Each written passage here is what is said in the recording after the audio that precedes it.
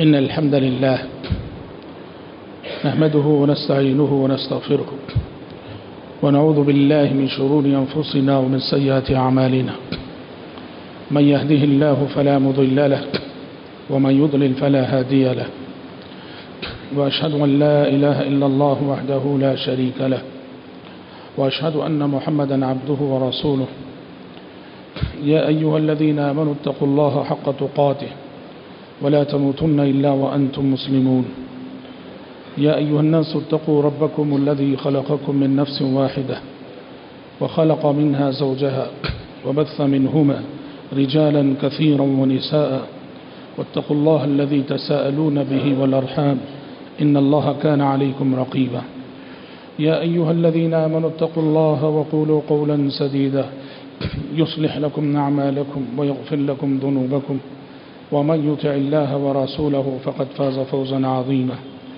أما بعد فإن خير الحديث كتاب الله وخير الهدي هدي محمد صلى الله عليه وسلم وشر الأمور محدثاتها وكل محدثة بدعة وكل بدعة ضلالة وكل ضلالة في النار. أعوذ بالله السميع العليم من الشيطان الرجيم من همزه ونفخه ونفسه. والذي جاء بالصدق وصدق به أولئك هم المتقون. حضرات، ابھی خطبہ مسنونہ کے بعد میں نے آپ کے روبرو صورت الزمر کی ایک آیت تلاوت کی ہے۔ اللہ تبارک و تعالیٰ نے اس آیت میں ارشاد فرمایا کہ والذی جاء بالصدق وصدق به، کہ وہ شخص جو سچائی کو لے کر آئے اور وہ جو اس سچائی کی تصدیق کرے اولئک هم المتقون۔ یہی حقیقت میں متقی بندے ہیں۔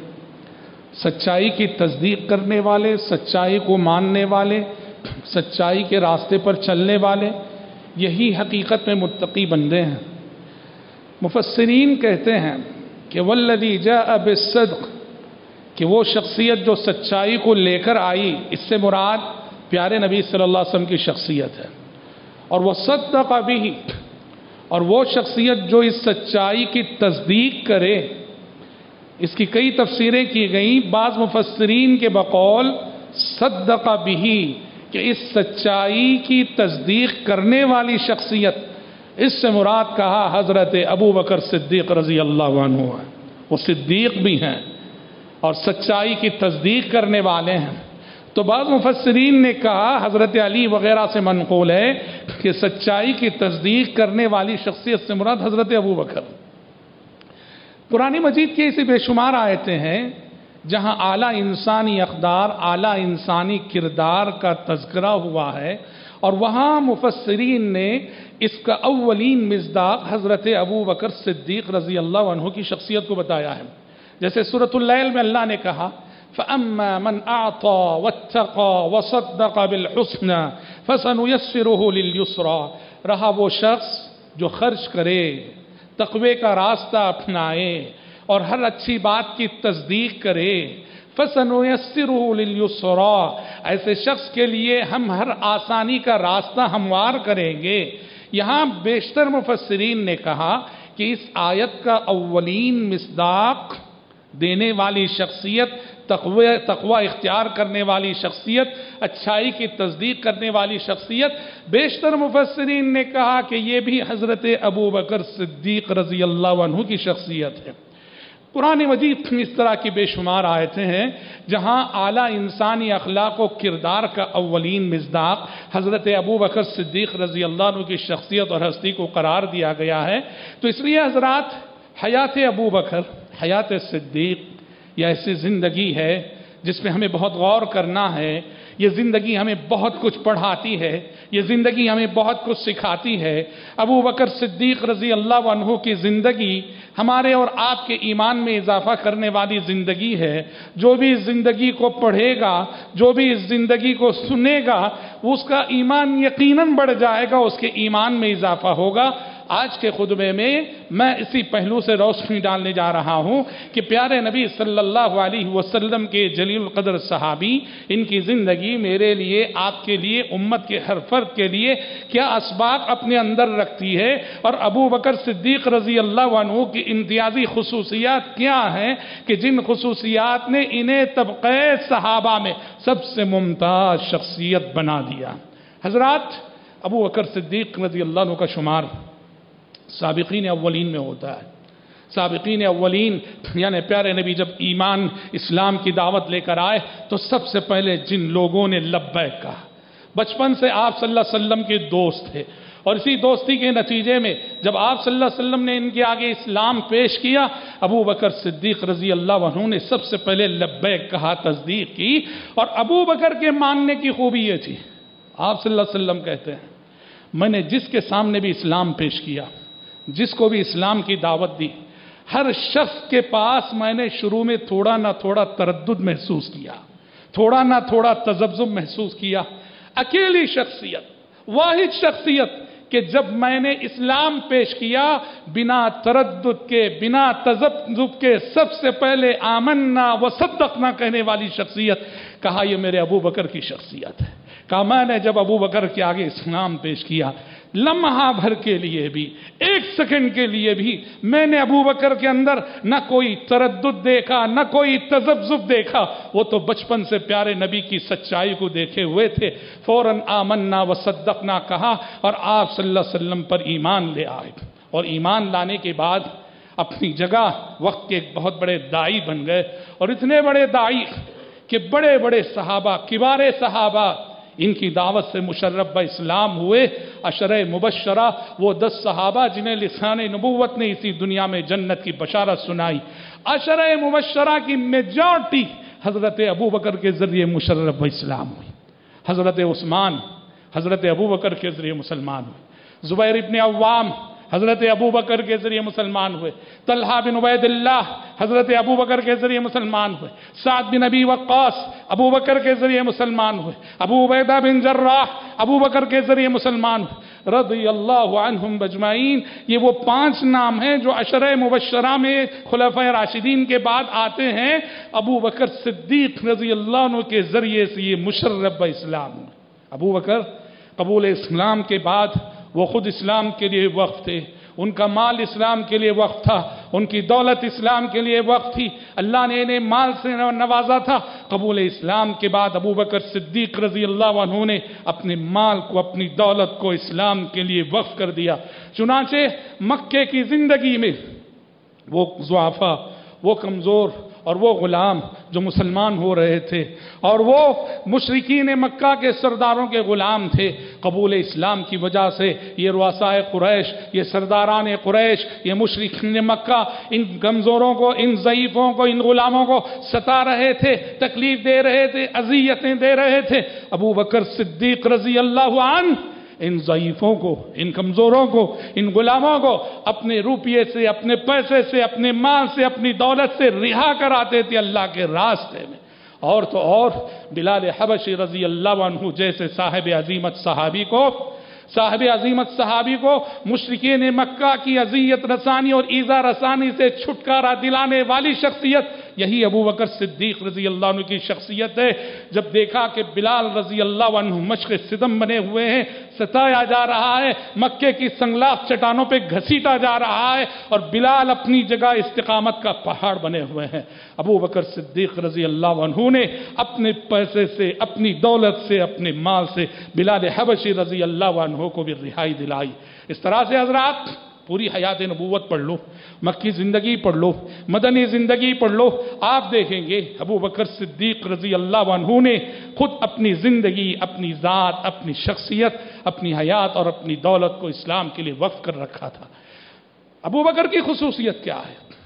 حضرت ابو بکر صدیق رضی اللہ عنہ کی سب سے بڑی خصوصیت ان کا اپنا ایمان، ان کی اپنی ایمانی طاقت، ان کی اپنی ایمان کی کوالٹی مومن تو سبھی ہیں، الحمدللہ۔ طبقہ صحابہ میں جس کوالٹی کا ایمان ابو بکر صدیق رضی اللہ عنہ کے دل میں تھا، ایمان کے جس مقام پہ صدیق فائز تھے، ایمان کے جس رتبے پہ ابو بکر صدیق فائز تھے، ہم اس رتبے کا تصور بھی نہیں کر سکتے۔ اللہ اللہ، عمر بن خطاب رضی اللہ عنہ کی یہ شہادت اور یہ گواہی سنو۔ کیا فرماتے ہیں حضرت عمر؟ حضرت عمر فرماتے ہیں کہ اللہ کی قسم، اللہ کی قسم ابو بکر صدیق کے ایمان کو۔ اس امت میں کہا نبی کے بعد نبی کو چھوڑ کر کہتے ہیں اگر ابو بکر صدیق کے ایمان کو ترازو کے ایک پلڑے میں اور باقی پوری امت کے ایمان کو ترازو کے دوسرے پلڑے میں رکھ دیا جائے تو ابو بکر صدیق کا پلڑا بھاری ہو جائے۔ گا اور یہ گواہی کس کی ہے؟ عمر بن خطاب رضی اللہ عنہ کی گواہی ہے۔ ابو بکر صدیق کے دل میں وہ ایمان تھا، وہ طاقت تھا، وہ قوت تھی۔ اسی لیے ایک سلف میں سے کسی کا قول ہے، وہ کہا کرتے تھے، ما فضلهم ابو بکر بكثرة صلاة ولا صيام ولكنه فضلهم بشيء وقر في القلب. کہ ابو بکر کا یہ جو مقام ہے کہ اس امت میں نبی کے بعد اگر کسی کا درجہ ہے تو ابو بکر کا، اس امت میں نبی کے بعد اگر کسی کا رتبہ ہے تو ابو بکر کا ہے اس امت میں نبی کے بعد اگر کسی کا مقام ہے تو ابو بکر کا۔ ہے یہ مقام کیوں ملا؟ کیا اس لیے کہ ابو بکر طبقہ صحابہ میں سب سے زیادہ نفل نمازیں پڑھتے تھے؟ نہیں۔ ہو سکتا ہے کہ صحابہ میں ابو بکر سے زیادہ نفل نمازیں پڑھنے والے رہے ہوں۔ کیا اس لیے کہ طبقہ صحابہ میں ابو بکر صدیق رضی اللہ عنہ سب سے زیادہ نفل روزے رکھنے والے تھے؟ نہیں۔ ہو سکتا ہے کہ طبقہ صحابہ میں ابو بکر صدیق سے زیادہ نفل روزے رکھنے والے رہے ہوں۔ کوئی کہا، وَلَكِنَّهُ فَضَلَهُمْ بِشَيْءٍ وَقَرَ فِي الْقَلْبِ ابو بکر کو ابو بکر بنانے والی چیز۔ ابو بکر کو وہ مقام دلانے والی چیز یہ تھی کہ ابو بکر کے دل میں جس کوالٹی کا اور جس درجے کا ایمان تھا اور ایمان جس قوت کا تھا، اس قوت، اس درجے اور اس کوالٹی کا ایمان نبی کے بعد کسی اور کے دل میں نہیں پایا گیا۔ رضی اللہ عنہ وارضاہ ایمان کا اگر یہ عالم ہے، عملی زندگی دیکھیے، ایمان عمل کا پیغام دیتا ہے۔ ایمان عمل کی دعوت دیتا ہے۔ ابو بکر صدیق رضی اللہ عنہ کی قوت ایمانی کا اگر یہ عالم، تو ان کی عملی زندگی کی خصوصیت یہ ہے۔ عام طور پر دیکھو، انسانوں میں ہوتا یہ ہے، اہل ایمان میں بھی ہر انسان ہر نیکی میں آگے نہیں ہوتا۔ کسی کسی کا دل کسی کسی نیکی میں زیادہ لگتا ہے۔ کسی کا دل نمازوں میں زیادہ لگتا ہے۔ وہ فرض نمازوں کے ساتھ نفل نمازیں زیادہ پڑھے گا۔ کسی کا دل نمازوں میں نماز فرض سنت کی حد تک نفل کا پابند نہیں ہوگا، لیکن روزوں میں دل زیادہ لگتا ہے، بہت زیادہ نفل روزے رکھے گا وہ۔ کسی کا دل نفل روزے، نفل نمازوں میں نہیں صدق و خیرات میں زیادہ لگتا، بہت زیادہ مال خرچ کرے گا۔ اللہ نے بندوں کے درمیان اعمال کی امام مالک کا مشہور جملہ ہے ان اللہ قسم الاعمال بین عباده کما قسم الارزاق بینهم جیسے اللہ نے بندوں کے درمیان رزق کی تقسیم کی ہے، اسی طرح اللہ نے بندوں کے درمیان اعمال کی بھی تقسیم کی ہے کہ کسی کسی نیکی میں کوئی کوئی آگے بڑھا رہتا ہے، دوسری نیکیوں میں پیچھے رہتا ہے۔ پر ابو بکر صدیق رضی اللہ عنہ کی خصوصیت یہ تھی، ہر نیکی میں ان کی حصے داری تھی۔ ہر نیکی میں ان کی حصے داری تھی۔ نیکی کا کوئی موقع وہ ضائع ہونے نہیں دیتے تھے۔ کوشش کرتے تھے کہ نیکی کا کوئی بھی موقع آئے، نیکی ہو جائے اور نیکی کا وہ موقع ضائع ہونے نہ پائے۔ صحابہ کی مجلس زمین ہے۔ آپ نے پوچھا، من اصبح منکم اليوم صائمہ؟ آپ نے پوچھا لوگوں آج تم میں کون روزے سے ہے؟ ابو بکر صدیق نے ہاتھ اٹھا کہا، ہم میں آپ صلی اللہ علیہ وسلم نے کہا لوگوں آج تم میں سے کس نے کسی مریض اور بیمار کی عادت کی؟ کوئی ہاتھ نہیں اٹھا۔ ابو بکر کا ہاتھ اٹھا، کہا، میں۔ آپ صلی اللہ علیہ وسلم نے کہا لوگوں آج کے دن تم میں سے کون کسی جنازے کے پیچھے گیا؟ حضرت ابو بکر کا صدیق، حضرت ابو بکر صدیق کا ہاتھ اٹھا، کہا، میں۔ آپ نے کہا لوگوں بتاؤ، آج کس نے کسی غریب اور مسکین کو دو لقمے کھانے کھلائے، کھانا کھلایا ابو بکر صدیق کا ہاتھ اٹھا، کہا، میں۔ ہر سوال کے جواب میں ابو بکر کا ہاتھ اٹھ رہا تھا۔ ہر نیکی کے سوال کے جواب میں حضرت ابو بکر اپنی اپنا ہاتھ اٹھا کر پیارے نبی کے سوالات کا جواب دے رہے تھے۔ پیارے نبی صلی اللہ علیہ وسلم نے کہا، جس شخص کی زندگی میں یہ نیکیاں اس قدر نیکیاں جمع ہو جائے، اس شخص کو جنت الفردوس میں داخل ہونے سے کوئی چیز نہیں روک سکتی۔ اسی لیے دیکھو، حدیثوں میں کہا گیا، جنت کے کئی دروازے ہیں۔ ایک ایک باب الصلاح ہے، نمازی اس سے جنت میں جائیں گے۔ ایک باب الریان ہے، روزے دار اس سے جنت میں جائیں گے۔ ایک باب الصدقہ ہے، صدقہ خیرات کرنے والے اس دروازے سے جنت میں جائیں گے۔ پیارے نبی صلی اللہ علیہ وسلم جب جنت کے دروازوں کے نام گنا رہے تھے اور اس سے داخل ہونے والوں کی بشارت سنا رہے تھے، ابو بکر صدیق نے کہا، اے اللہ کے نبی، یہ کیا کوئی خوش نصیب ایسا ہے؟ کوئی سعادت مند ایسا ہے جسے جنت کے آٹھوں دروازوں سے بلایا جائے گا؟ آپ نے کہا کہ ابو بکر، وہ خوش نصیب تم ہی ہو، وہ خوش نصیب تم ہی ہو، وہ سعادت مند تم ہی ہو، جنت کے آٹھوں دروازوں سے تمہیں بلایا جائے گا، پکارا جائے گا اور اس سے داخلے کی سعادت تمہیں حاصل ہوگی۔ کیوں؟ اس لیے کہ ابو بکر کی زندگی میں یہ ساری نیکیاں تھیں اور اعلیٰ درجے کی تھیں۔ سلاد بھی سیام بھی، صدقہ بھی، جہاد بھی، ساری نیکیاں ابو بکر صدیق رضی اللہ عنہ کی زندگی میں تھیں۔ ان کے ایمان کا وہ مقام تو ان کی عملی زندگی کی یہ خصوصیت۔ اور حضرات، پیارے نبی صلی اللہ علیہ وسلم سے سچی محبت، پیارے نبی صلی اللہ علیہ وسلم سے سچی وفاداری۔ پیارے نبی کی سچی اطاعت، پیارے نبی کی سچی جان ساری میں ابو بکر بے نظیر تھے۔ ہر صحابی کو نبی سے محبت تھی، پر ابو بکر کی محبت کی بات ہی کچھ اور۔ ہر صحابی نبی کا متیو فرما بردار تھا، لیکن ابو بکر کے شان، جذبہ اطاعت کی شان ہی کچھ اور۔ ہر صحابی نبی کا جان نثار تھا پر ابو بکر کے جذبہ جان نثاری کی بات ہی کچھ اور۔ ہر صحابی پیارے نبی کا وفادار تھا، پر ابو بکر کی وفاداری کا ماجرا ہی کچھ اور۔ ابو بکر ابو بکر تھی، وہ ایک امتیازی کردار کے حامل تھے۔ پیارے نبی صلی اللہ علیہ وسلم سے ان کی نسبت، ان کا تعلق، ان کی قربت اور ان کی وفاداری۔ اللہ اکبر، مشکل سے مشکل اوقات میں۔ سفر ہجرت، اتنا نازک موقع، اتنی نازک گھڑی۔ سفر ہجرت، جہاں قدم قدم پر جان کے لیے خطرات تھے، خطرات سے بھرے ہوئے اس سفر میں، پیارے نبی صلی اللہ علیہ وسلم کی صحبت کا شرف، پیارے نبی کی رفاقت کا شرف اس سفر میں، جہاں قدم قدم پر موت کا خطرہ تھا۔ اگر کسی صحابی نے اس خطرے کو مول لیا اور پیارے نبی کی صحبت اور رفاقت نبھائی، تو وہ یہی ابو بکر صدیق رضی اللہ عنہ تھے۔ سفر ہجرت میں پیارے نبی صلی اللہ علیہ وسلم کا ساتھ نبھایا۔ اور اس پورے سفر میں کبھی اپنی جان کی فکر نہ کی۔ مدینہ پہنچنے تک بھی انہیں فکر تھی تو صرف اور صرف پیارے نبی کی فکر تھی، آپ کی جان کی فکر تھی۔ غار سور میں چھپے ہیں۔ غار سور میں چھپے ہیں۔ ایک سوراخ ہے۔ دیکھا، ڈر ہوا ابو بکر کو۔ سوراخ ہے۔ کہیں اس میں کوئی کیڑا، مکوڑا سام بچھو نہ ہو۔ ابو بکر صدیق رضی اللہ انہوں نے اپنے انگوٹے سے اس سوراخ کو بند کر لیا۔ اور سچ مچ اس کے اندر بچھو تھا۔ ابو بکر کو ڈنک مار رہا تھا، پر ابو بکر صدیق رضی اللہ عنہ اپنا انگوٹا وہاں سے ہٹا نہیں رہے تھے کہ کہیں وہ پیارے نبی کو ڈس نہ لے اور جب مشرقین مکہ ڈھونڈتے ہوئے غار سور تک پہنچ گئے نیچے دیکھا نہیں انہوں نے۔ وہاں کھڑے ہو کے وہ دیکھ رہے ہیں چاروں طرف۔ ابو بکر بے چین ہو گئے، پریشان ہو گئے۔ ابو بکر کا صبر جواب دے گیا۔ کہا، اے اللہ کے نبی، دشمن ہم تک پہنچ گیا ہے۔ ہم صرف دو ہی ہیں۔ پیارے نبی نے کہا کہ ما ظنک یا ابا بکر بسنین ثالثہم اللہ۔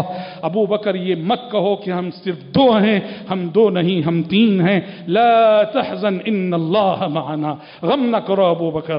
غم نہ کرو۔ اللہ آج ہمارے ساتھ ہے، وہ ہمیں بے یار و مددگار نہیں چھوڑے گا۔ یہ مشرقین ہم تک نہیں پہنچ پائیں گے۔ ما ظنک یا ابا بکر بسنین ثالثہم اللہ اور پھر جب غار سور سے نکلے، مدینے کی طرف روان دواں ہوئے، مدینے کی طرف چلنے لگے۔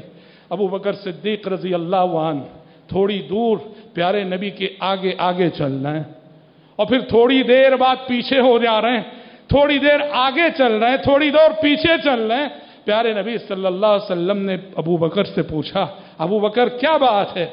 کچھ دیر آگے چلتے ہو، پھر پیچھے ہو جاتے ہو، کچھ دیر پیچھے چلتے ہو۔ ابو بکر نے کہا کہ اللہ کے نبی، آگے چلتا ہوں اس لیے کہ میرے دل میں خیال آتا ہے کہ کہیں کوئی دشمن گھات میں نہ بیٹھا ہو، کہیں کوئی دشمن گھات میں لگا نہ ہو۔ یہ خیال جب آتا ہے تو میں آپ کے آگے آگے چلتا ہوں۔ لیکن جب آگے آگے چل رہا ہوتا ہوں تو اچانک خیال آتا ہے کہ کہیں کوئی دشمن پیچھے سے آپ پہ حملہ نہ کر دے اور یہ خیال جب مجھ پہ غالب ہوتا ہے تو پیچھے ہو جاتا ہوں۔ کہا کہ جو خیال میرے دل پہ غالب آ رہا ہے، اس طرح میں کبھی آگے، کبھی پیچھے آپ کے چل رہا ہوں تاکہ اگر کسی بھی قسم کا خطرہ آئے تو مجھ پہ آئے اور آپ بچ جائیں۔ آپ سالم رہیں، خطرہ آئے تو مجھ پہ آئے۔ پیارے نبی صلی اللہ علیہ وسلم کو ابو بکر صدیق رضی اللہ عنہ کی اس جانساری اس وفاداری، اس خلوص، اس سچی محبت کا اندازہ تھا اور آپ صلی اللہ علیہ وسلم نے اسی وفاداری اور جانساری و اطاعت و محبت کو خراج عقیدت پیش کرتے ہوئے وہ جملہ ارشاد فرمایا تھا جب آپ نے کہا تھا کہ لوگوں زندگی میں میرے جتنے صحابہ نے مجھ پہ احسانات کیے ہیں زندگی میں میرے جتنے صحابہ نے مجھ پر احسانات کیے ہیں، سب کے احسانات کا بدلہ میں دنیا میں چکا چکا ہوں۔ سب کے احسانات کا بدلہ بدلہ میں دنیا میں دے چکا ہوں۔ بس ایک میرا ابو بکر ہے۔ ایک میرا ابو بکر ہے۔ ابو بکر کے احسانات مجھ پر اس قدر عظیم ہے اس قدر عظیم ہے کہ دنیا میں میں ان کے احسانات کا بدلہ چکا نہ سکا ہوں۔ بس روز قیامت میرا رب ہی ابو بکر کے احسانات کا بدلہ چکائے گا۔ رضی اللہ عنہ وارضا حضرات، صحابہ کے دور میں دو گھڑیاں ایسی آئیں، دو وقت ایسے آئے جو بڑی آزمائش کی گھڑیاں تھیں، جو بڑی آزمائش کے وقت تھے، اور ان دو اوقات میں امت کو سنبھالا ابو بکر نے۔ ابو بکر اگر اس ان دو آزمائش کی گھڑیوں میں امت کو نہ سنبھالتے تو پتہ نہیں اس امت کا کیا حال ہوتا۔ دو گھڑیاں تھیں۔ دو ساتیں تھیں، دو موقع تھے، دو اوقات تھے۔ جب ابو بکر نے اس پوری امت کو اپنے عزم، حوصلے اور ہمت سے سہارا دیا اور اس امت کو اللہ رب العزت نے ابو بکر کا آسرا فراہم کر کے ان آزمائشوں کو آسان کیا، جو آزمائش کی اس امت کے لیے بہت بڑی آزمائش تھی۔ اس میں پہلی آزمائش، پیارے نبی صلی اللہ علیہ وسلم کی وفات کا وقت۔ پیارے نبی صلی اللہ علیہ وسلم کی وفات جب آپ صلی اللہ علیہ وسلم کا انتقال ہوا، آپ صلی اللہ علیہ وسلم کی وفات ہوئی، سارے صحابہ صدمے سے چور۔ صدمہ بھی ایسا، انس بن مالک رضی اللہ عنہ کہتے ہیں کہ پیارے نبی کی وفات ہوئی۔ کہتے ہیں جب پیارے نبی ہجرت کر کے مدینہ آئے تھے، آپ کے مدینہ آنے سے مدینے کی گلی گلی روشن ہو گئی تھی۔ لیکن جیسے ہی آپ کا انتقال ہوا، مدینے کی گلی گلی تاریخ ہو گئی۔ ایک صحابی فرماتے ہیں، پیارے نبی کا انتقال ہوا، ابھی ہم نے آپ کو دفن بھی نہیں کیا۔ ہم نے محسوس کیا کہ ہمارے دلوں کی کیفیت بدل گئی۔ پیارے نبی کے زندہ رہتے ہوئے ہمارے دلوں کی کیفیت کچھ الگ تھی۔ پیارے نبی کی وفات کیا ہوئی؟ ابھی آپ کو ہم نے دفن بھی نہیں کیا۔ ہے انکرنا قلوبنا۔ ہم نے محسوس کیا کہ ہمارے دل وہ نہ رہے جو نبی کے ہوتے ہوئے تھے، اور ہمارے دل ویسے نہ رہے جو نبی کے رہتے ہوئے تھے۔ صحابہ جذبات سے مغلوب ہو گئے۔ جذبات سے مغلوب ہو گئے۔ پورا مدینہ صدمے سے دو چار۔ ارے اور تو اور۔ عمر بن خطاب جیسی حوصلہ من شخصیت۔ ان کا صبر جواب دے گیا۔ ان کا قرار جواب دے گیا۔ اور وہ تلوار لے کے نکل گئے۔ اور کہنے لگے کہ جو کہے کہ محمد صلی اللہ علیہ وسلم کا انتقال ہو گیا، اس کی گردن مار دوں گا۔ سارا مدینہ پریشان۔ سارا مدینہ صدمے سے چور۔ اس وقت ابو بکر نے امت کو سنبھالا۔ اس وقت ابو بکر نے امت کو سنبھالا۔ دوڑے دوڑے آئے۔ ام المومنین کے حجرے میں آئے۔ پیارے نبی صلی اللہ علیہ وسلم، اللہ اکبر، آپ کے چہرے، آپ کو چادر اڑا دی گئی تھی۔ چادر ہٹائی آپ کے چہرے مبارک سے۔ آپ کی پیشانی کا بوسا لیا۔ بوسا لینے کے بعد سیدھے مسجد نبوی تشریف لے گئے۔ ممبر پہ کھڑے ہوئے اور پورے مدینے والوں کا پیغام دیا۔ ألا إن من كان يعبد محمدا فإن محمدا صلى الله عليه وسلم قد مات ومن كان يعبد الله فإن الله حي لا يموت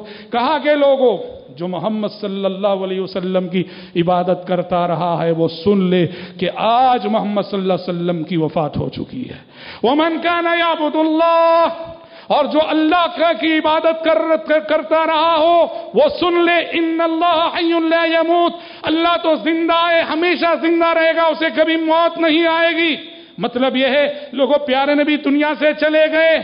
اللہ حی ہے، اس کا دین زندہ ہے، اس کا پیغام زندہ ہے، نبی کی دعوت زندی ہے، نبی کا دین زندہ ہے۔ اس لیے پریشان نہ ہونا، حوصلہ دیا ابو بکر نے۔ اور وہ آیت پڑی وما محمد إلا رسول قد خلت من قبله الرسل أفإن مات أو قتل انقلبتم على أعقابكم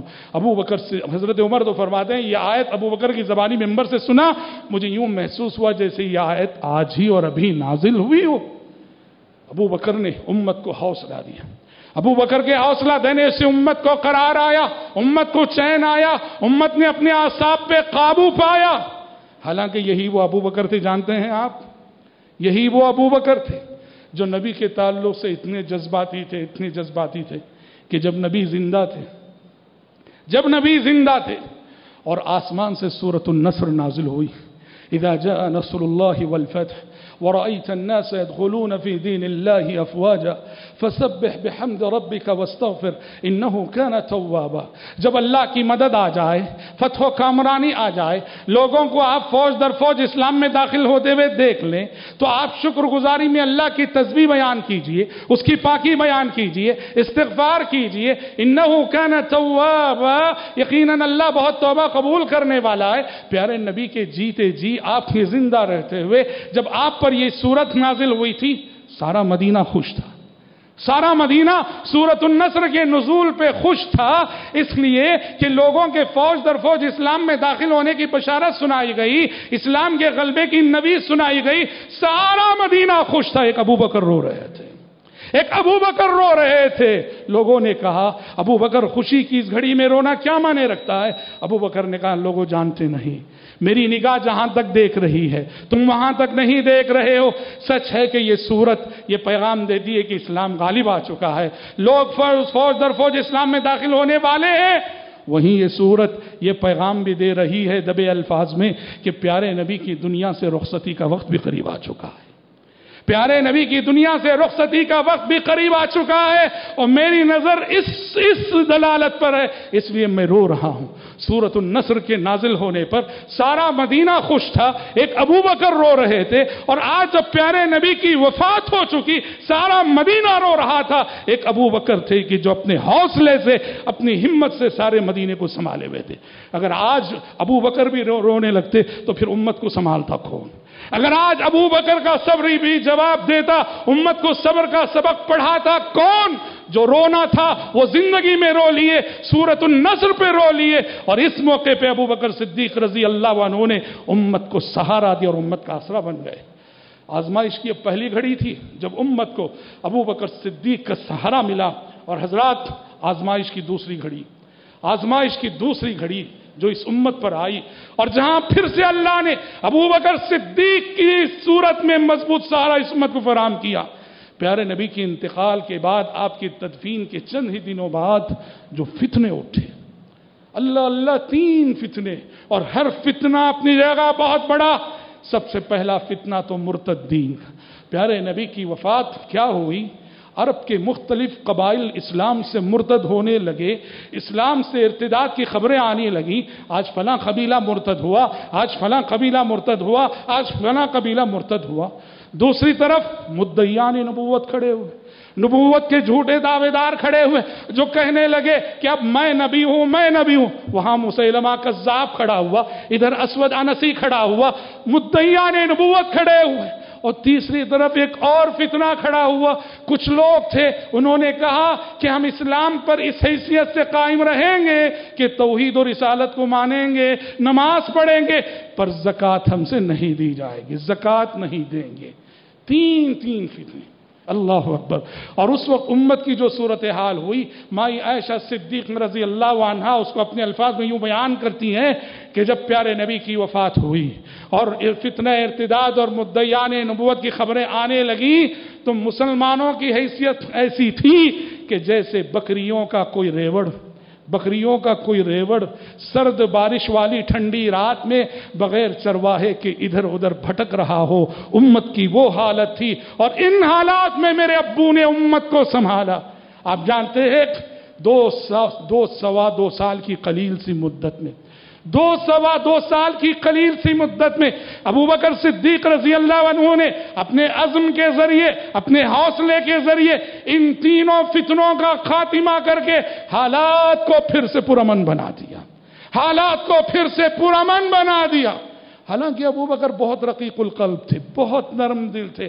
آپ صلی اللہ علیہ وسلم کی مسلح پہ کھڑے ہوتے تو رو دیتے، قرآن پڑھا جاتا تو رو دے۔ جو نرم دل ہوتے ہیں، وہ عزم و ارادے کے بھی کمزور ہوتے ہیں۔ پر ابو بکر صدیق کی خصوصیت تھی، وہ نرم دل بھی تھے اور عزم اور حوصلے میں وہ کی ایک چٹان کی حیثیت رکھتے تھے۔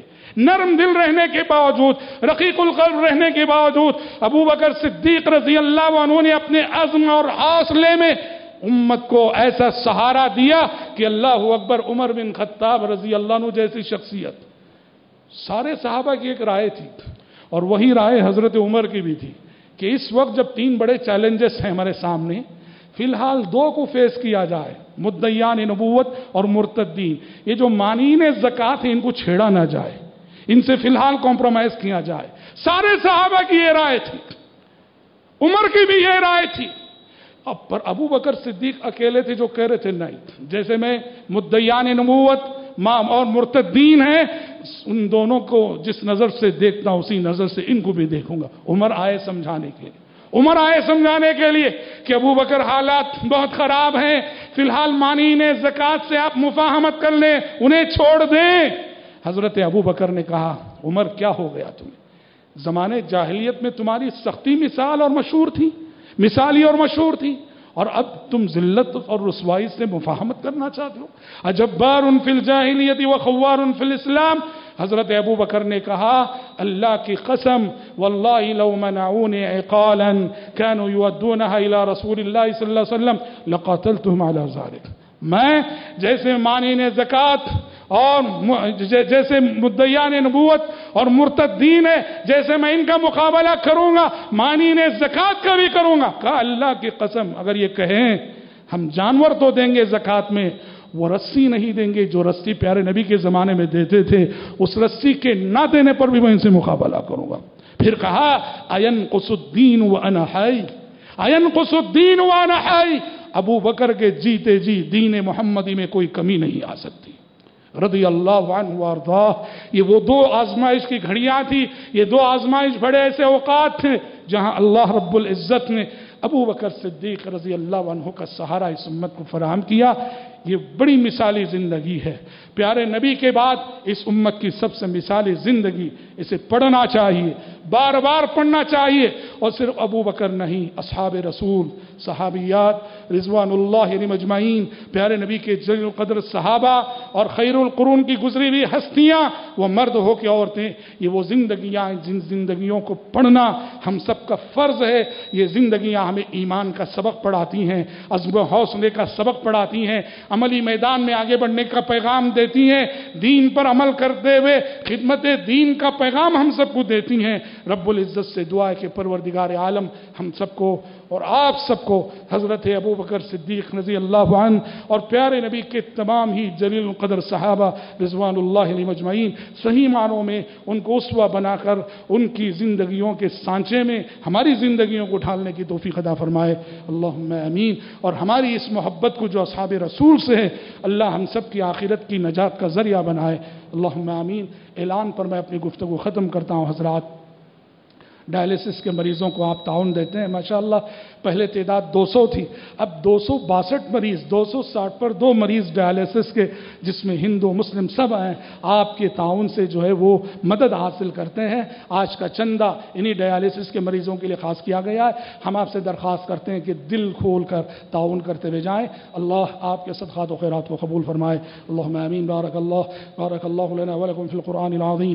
ونفعنا ویاکم بما فیہ من الآیات والذکر الحکیم۔ حكيم إنه تعالى جواد كريم ملك بر رؤوف رحيم رب حليم.